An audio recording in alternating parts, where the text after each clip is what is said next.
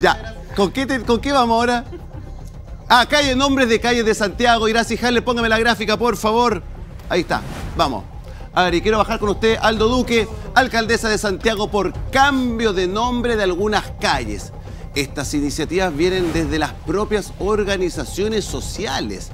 Iracy Jale abo- abordó el pedido de un plebiscito y apeló que hay distintas formas de participación. También detalló que serán algunos segmentos los que se renombrarán y no calles completas. A ver, ¿tiene algo más? Ah, Hay molestia. Hay molestia de la gente de la calle Namur. Vecinos de calle Namur en Santiago despliegan rechazo al cambio de nombre por conmemoración de los 50 años del golpe. Dice residente del sector capitalino se opone a la iniciativa que busca renombrarla como Ida Amelia Vera Almarza.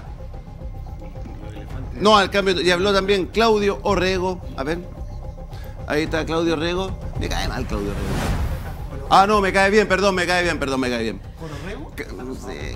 Cambio de nombre de calles.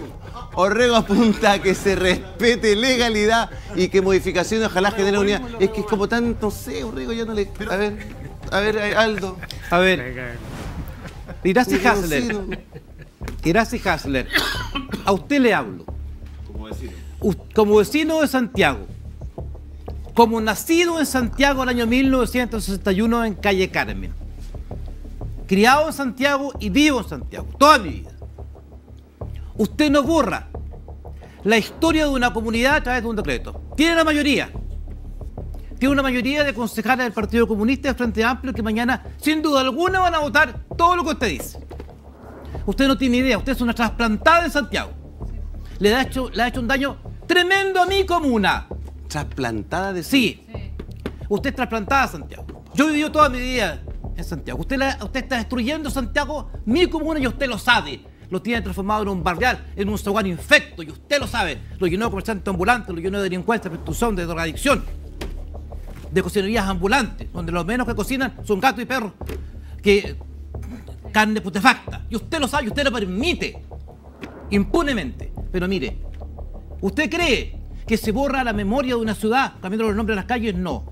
La calle Huérfano, tiene que saber usted, antigua calle de los carruajes, porque ahí se guardaban los carruajes, don Mateo Vittorio Zambrano, que posteriormente, como consecuencia de la epidemia de cólera que hubo en el año 1870, donde mucha gente estuvo ahí, había un lugar, un nosocomio donde la gente llegaba a protegerse, murieron muchas mujeres y quedaron muchos niños huérfanos. Por eso se llama huérfanos.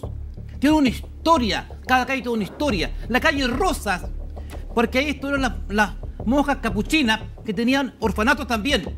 Cada calle en Santiago tiene una historia que usted no conoce, por supuesto, ¿quién va a conocer? Pero mire, cuidado. El próximo año en octubre usted va a ser, usted va a ser escrutada por la ciudadanía de Santiago. Usted está eludiendo el procedimiento de la gente de Santiago. Usted sabe lo que le pasó a Carolina Toá cuando lo quiso cambiar el nombre de Cerro Santa Lucía por Huelén. Le dijeron no. Eso es lo que usted elude. Usted está eludiendo de cualquier forma el pronunciamiento de la ciudadanía. Los vecinos de Santiago se levantan, se lo han dicho en su cara, y usted los elude. Usted elude el pronunciamiento popular. ¿Sabe por qué lo elude? Porque le teme al pronunciamiento de la ciudadanía de Santiago. Por eso lo elude por forma burocrática. Pancho Rego, usted que también es Mira, vecino ahí. S- Santiago Centro nunca se ha caracterizado por ser una comuna muy segura. Yo llevo 20 años viviendo ahí. Pero de verdad la degradación que hemos visto con esta administración es tremenda. Y principalmente porque no han transformado los espacios urbanos en micromercados, cocinerías, ambulantes, con todo lo que eso lleva asociado.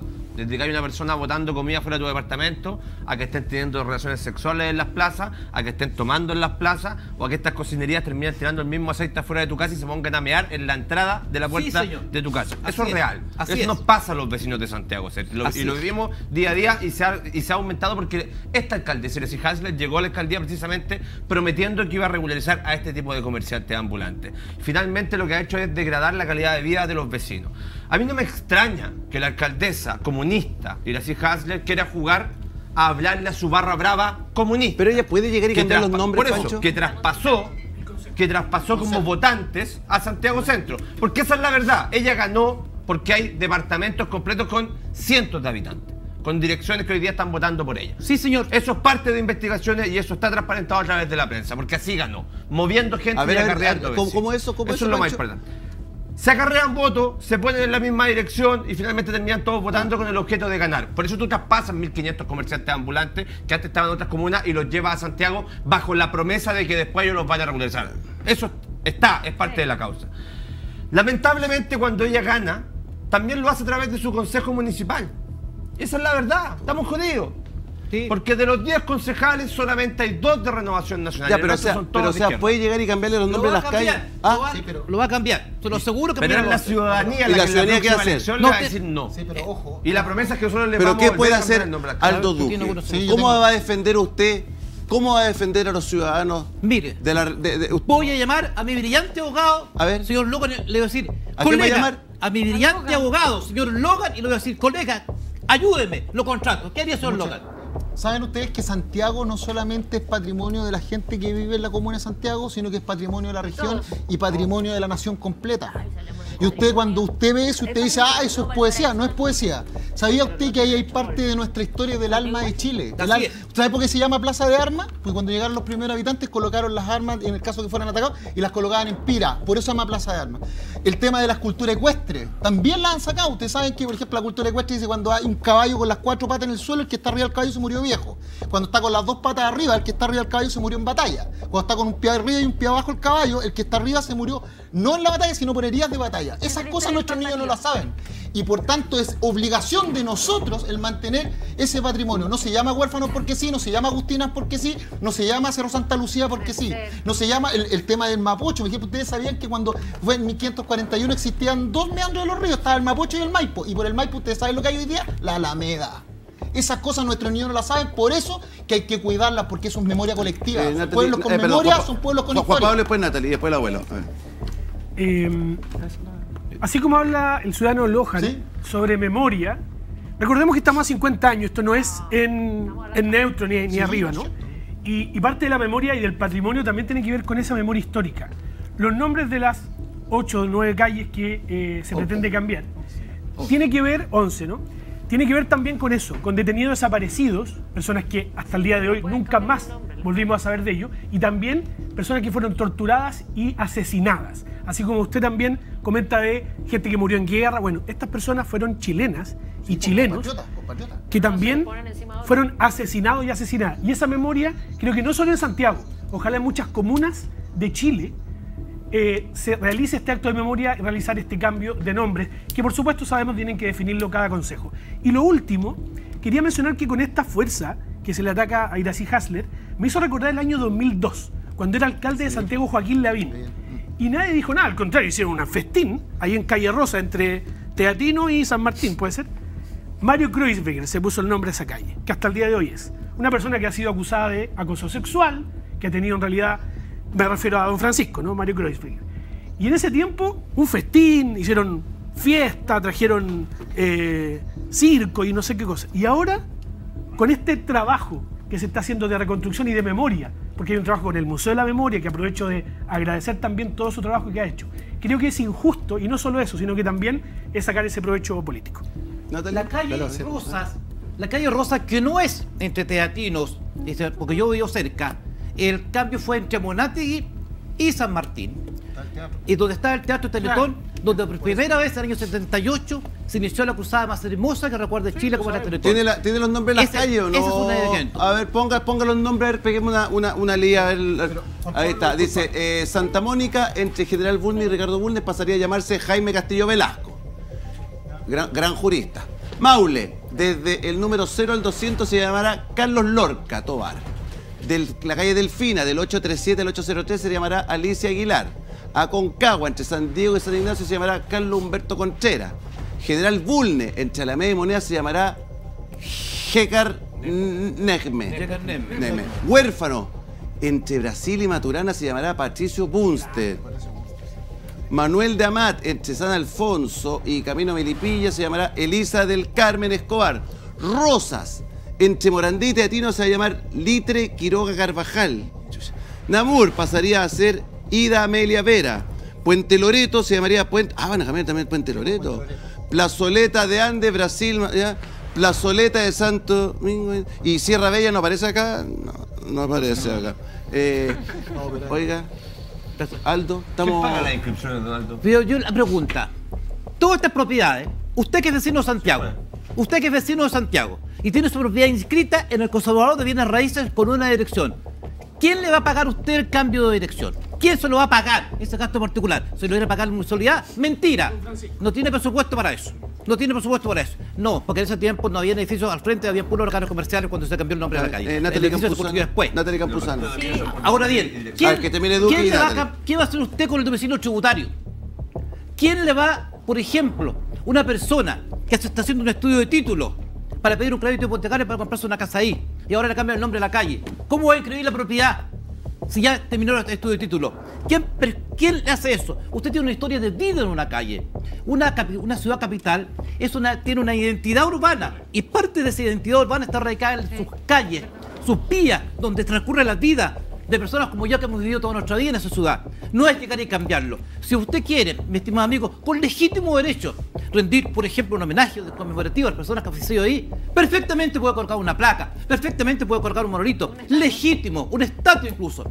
Pero no le cambie el nombre de la vía al camino, a la vía. La vía es un camino, un camino es un trazado que lleva un destino. No es llegar y cambiar los nombres de las calles. Me parece que es una arbitrariedad. Pues, Me está pasando por la R la voluntad de los ciudadanos de Santiago. Na- Sabe que le va a decir que no. Natalia Campuzano. Muy, muy, muy cortito. Yo he escuchado con mucha atención la pasión, porque yo creo que, y la pasión es positiva muchas veces, cómo se hace defensa de la historia de, de- Que de un- Santiago. Un habitante de la comuna. Y me parece bien.